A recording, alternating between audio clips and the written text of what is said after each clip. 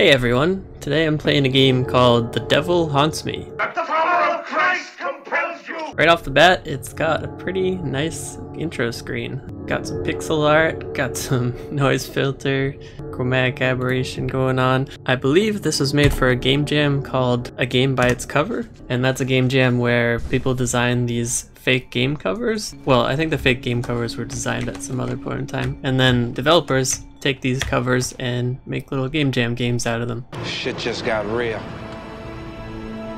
Axe plus tree equals wood. Gun plus thing equals other thing. I can't tell what most of these are. The third one looks like water. Fourth one looks like water too. Okay. I think this is a survival game. Okay, there's an axe and there's a gun. I can only hold one. It said to mix the water, the bucket with the water. Okay, we got a bucket of water. What are I gonna do with this water? I dropped the water. Okay, let's get some wood. You know, survival game stuff. Collecting. So I've been collecting for eight long years. I have a little bar in the bottom. I think that's my energy.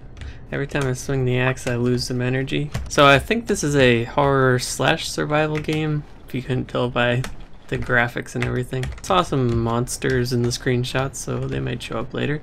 I don't think I can hold more than one thing at a time.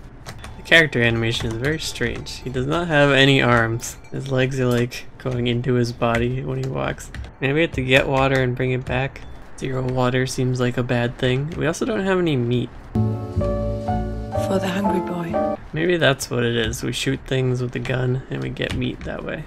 Very uh, don't starve. Minimalist don't starve. Oh, there's a deer thing. Well, I can't fight it because I can only hold one tool at a time. I have to run all the way back home to get the gun. I want you to give me the gun.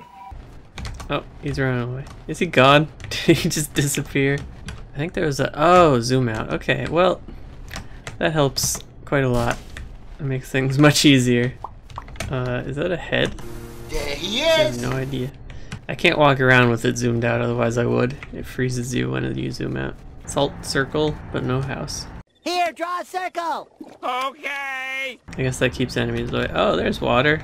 Well, that's great, but I'm extremely far away from the house. It'd be great if you could just hold all the tools. The movement speed and everything, it stinks having to run all the way back here. Whoa. Spooky monster. New island. Oh, there's water over here. Sweet. Oh, this thing is actually attacking me now? Okay.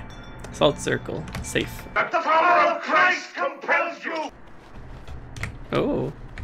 Golden axe. Fancy. You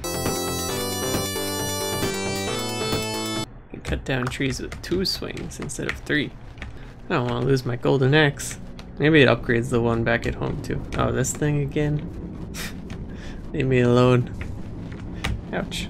Oh, I took damage. I only have two health. Okay. Ah, hey. Can't just spawn on me when I leave the house. That the power of Christ compels you! I can't shoot past the trees because their hitbox is giant. A sword.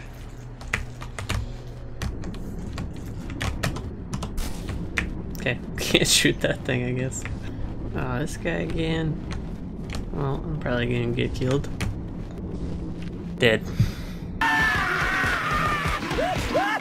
Let's see what happens. Does it start completely new?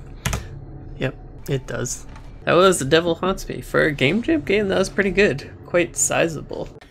yeah, boy. I don't know about that spooky monster that floated around. You can't really do anything about him. If you're not close to a salt circle, you're just gonna take damage either way.